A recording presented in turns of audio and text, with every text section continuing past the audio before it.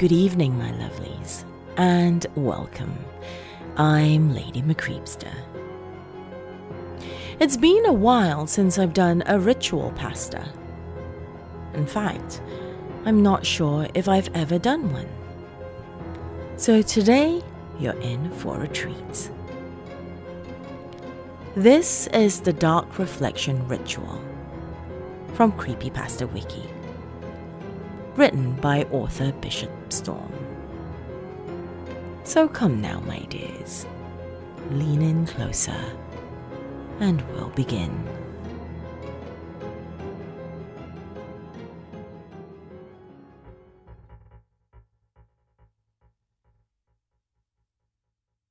Here's what you'll need to do this ritual a mirror of any type, a candle of any size or color, friends to do it with. Optional, but highly suggested. I should probably warn you once you begin this ritual, there is no way to stop it. What I'm saying is, don't start it unless you're planning to finish it. Have you ever broken a mirror by accident or on purpose? Have you ever looked into a mirror and felt like there was something watching you from the other side, or seen something sinister lurking within the eyes of your own reflection? You've probably heard the legend that breaking a mirror is seven years bad luck. Legends about mirrors have been around for hundreds of years. In particular, some ancient civilizations believed that there was a sort of purifying effect to mirrors. They believed that looking at one's reflection in the eyes, it would transfer a person's negative energy into the reflection in the mirror. They believed that this had a cleansing effect but also hidden dangers. That's why breaking a mirror has been known to cause bad luck. Think about it. If this is true, then every time you look into a mirror, you are transferring negative energy into it. Can you imagine just how much negative energy is just sitting there inside your bathroom mirror? When you break the mirror, that negative energy is released and causes bad luck for everyone around it. For this ritual to work, you will need a mirror that you don't mind breaking. According to the manifesto, both the risk and the eventual reward for this ritual are stronger depending on how old the mirror is. It makes sense if you think about it. An older mirror has been looked into more and therefore has more negative energy inside of it. In order for the ritual to begin, you must look your reflection in the eyes, transferring your negative energy into the mirror one last time. You only need to do this for a few seconds. Then, you need to lean forward and breathe into the mirror, making it fog up with your breath. My sources refer to this as anointing the mirror with your breath. At first, you might find this strange, but do a little digging, and I think you'll find that the word breath once meant something similar to spirit. By breathing on the mirror, you are symbolically linking yourself to the mirror and to the negative energy contained inside. This linking is critical to the success of the ritual. Everyone in the group needs to do this step as well before moving on to the next one. After this is completed, you can light the candle. Use the candle to burn the mirror. This agitates the negative energy inside. You only need to do this for a few seconds or until there is a noticeable black mark on the mirror. Note that the longer you do this for, the more agitated the negative energy will become.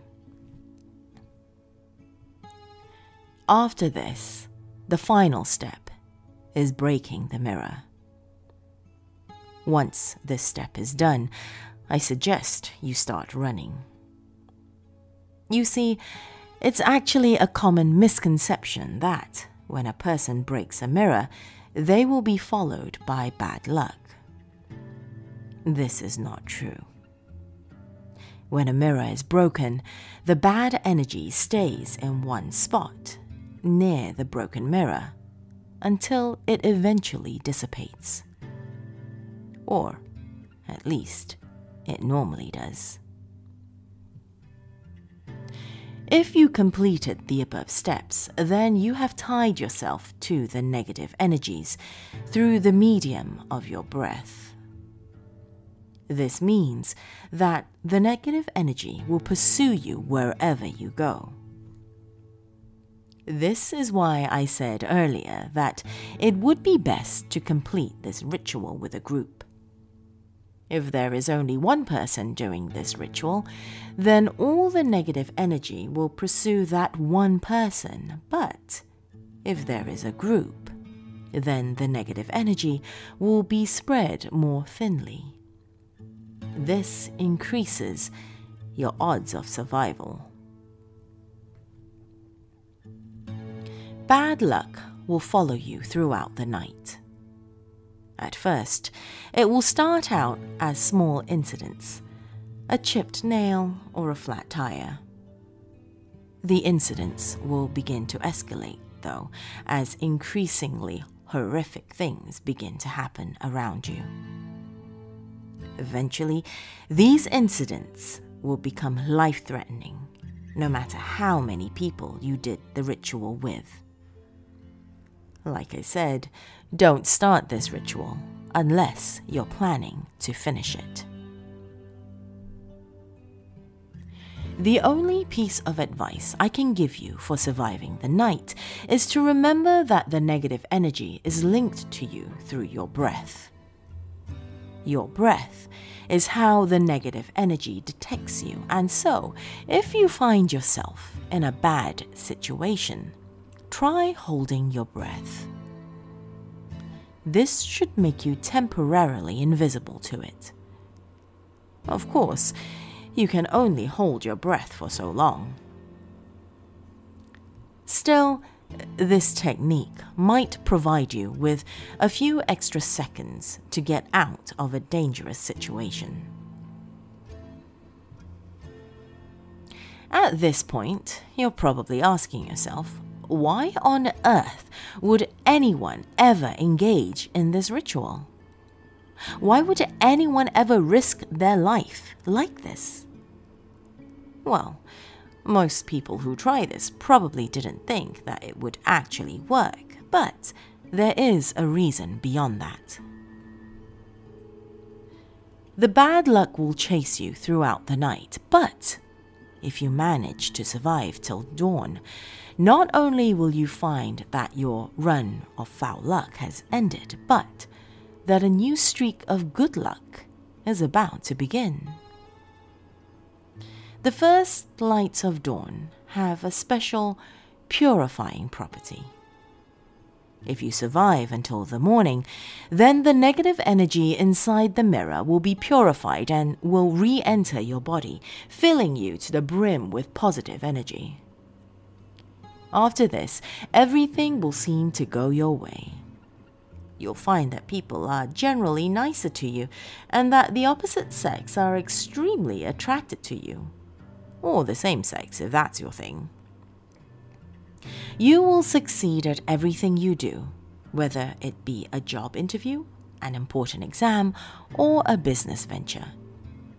I would highly suggest buying a lottery ticket. It should be noted that the amount and duration of your good luck will be equivalent to the amount of negative energy that was in the mirror. If you just bought the mirror at the store, then the good luck will only last a couple of days and will not be all that severe. If you use an old mirror, though, then your lucky streak will be far more powerful and it may last for months or even years if you had an old enough mirror. If you use a mirror that has a more personal connection to you, such as a bathroom mirror or a mirror from your bedroom, then the good fortune you experience will be more suited to your particular tastes and desires. One more thing I should probably warn you about is the timing of the ritual. The ritual needs to be started after sunset and with at least six hours until dawn. Two common tricks that people try to use in regards to this ritual are starting during the daytime and starting a few minutes before dawn. Starting near dawn is probably the least dangerous of these little cheats. If you start near the dawn, then the negative energy will not have enough time to fully manifest before being purified. The energy will then simply dissipate into the air rather than doing anything, and you will probably walk away thinking it was all a gigantic hoax starting during the day is more dangerous. People start during the day thinking that the daylight will instantly nuke the bad energy and keep them safe. This is not true. Notice that I said it was the lights of dawn that had the purifying power, not the light of day. By starting during the day, you actually give the bad luck more time to pursue you, and thus decrease your odds of surviving significantly. You know, a lot of people might call you stupid or crazy for trying to attempt this ritual. I wouldn't, though. I can understand the thinking that goes into it. I can understand wanting to take control of your luck, both good and bad, rather than accepting the seemingly random twists and turns that life seems to throw at us.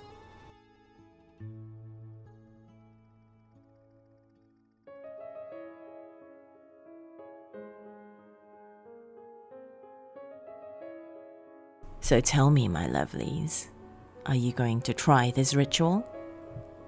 Let me know in the comments below if you're watching this on YouTube. If you're listening to the podcast, reach out to me on social media. I am Lady MCreepsta on both Twitter, Facebook, and now Instagram. Reach out and say hi. I would love to hear from you. A special thank you goes out to all my dark family on Patreon. I'd like to say welcome to my new family members as well. All your support really does help keep this channel and podcast going. If you too would like to help support this channel and podcast, go to patreon.com slash Lady MCreepsta. You can help support it with as little as a dollar a month. That's all the time we have this evening, my lovelies. Till next time.